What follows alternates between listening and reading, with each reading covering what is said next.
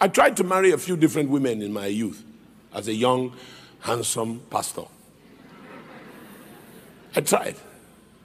But Kechiche, or down. But when it was God's time, for God's strategy, God's plan for my life, some people didn't like her. Some of my associates said, No, you must not marry this one. They had their own candidate. She won the primaries.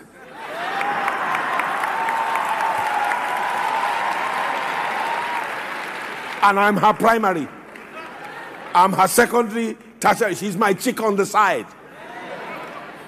She's my date tonight. She's my still waters, my green pastures. Ifeanyi Olori. My Asaba princess.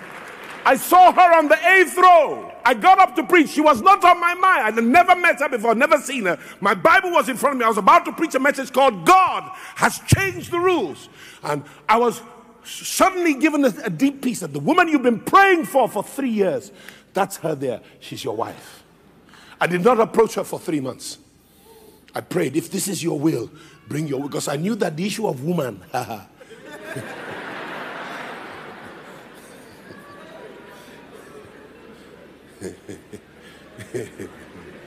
the rest is history. She's here now, 25 years.